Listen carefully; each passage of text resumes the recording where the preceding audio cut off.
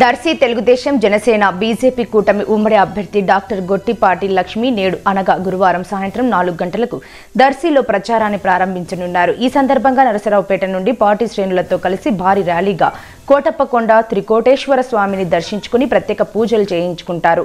ఆ తర్వాత సింగరకొండలో పూజలు జరుగుతాయి. అనంతరం దర్శి నియోజకవర్గంలో ప్రచారానికి రానున్నారు. సాయంత్రం మూడు గంటలకు శంకారాపురం నుండి డాక్టర్ లక్ష్మి ర్యాలీ ప్రారంభమవుతుంది. ఈ సందర్భంగా నరసరావుపేట నుండి పార్టీ శ్రేణులతో కలిసి భారీ ర్యాలీగా కోటప్పకొండ త్రికోటేశ్వర స్వామిని దర్శించుకుని ప్రత్యేక పూజలు చేయించుకుంటారు.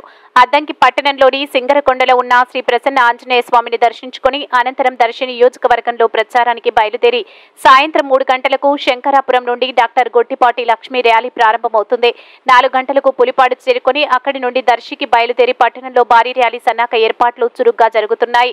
గొట్టిపాటి లక్ష్మీ రాక సందర్భంగా దర్శి నియోజకవర్గంలోని ప్రతి గ్రామంలో ఆ పార్టీ శ్రేణులు ఘనంగా స్వాగతం పలుకుతారు. నియోజకవర్గంలో ర్యాలీగా బయలుదేరిన డాక్టర్ గొట్టిపాటి లక్ష్మి దర్శి పట్టణంలో నాలుగు గంటలకు ర్యాలీ నిర్వహించి భారీ బహిరంగ సభ జరుగుతుంది.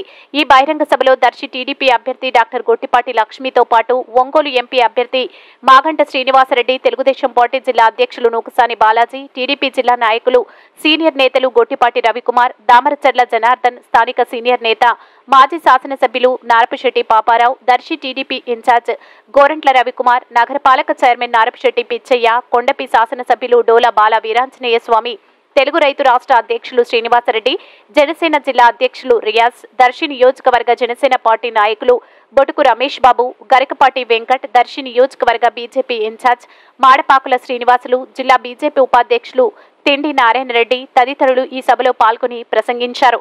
కావున నియోజకవర్గంలోని టీడీపీ శ్రేణులు జనసేన నాయకులు కార్యకర్తలు బీజేపీ నాయకులు కార్యకర్తలు పెద్ద ఎత్తున హాజరై ఈ కార్యక్రమాన్ని జయప్రదం చేయవలసిందిగా కోరుచున్నాము.